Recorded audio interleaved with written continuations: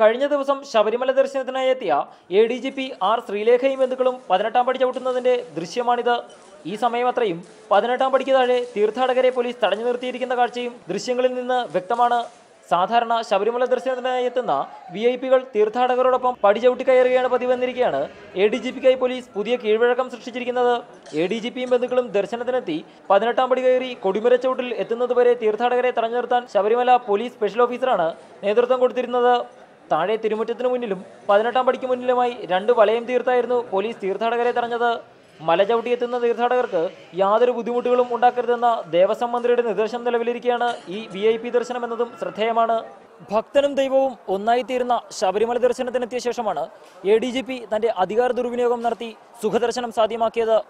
സാധാരണക്കാരന് മാതൃകയാകേണ്ടവർ തന്നെ ഇത്തരത്തിൽ തെറ്റായ കീഴ്വഴക്കങ്ങൾ സൃഷ്ടിക്കുമ്പോൾ അത് ഭാവിയിലും ആവർത്തിക്കപ്പെടാനുള്ള സാധ്യതയാണ് നിലനിൽക്കുന്നത്. S Shyamkumar reporter Sannidhanam.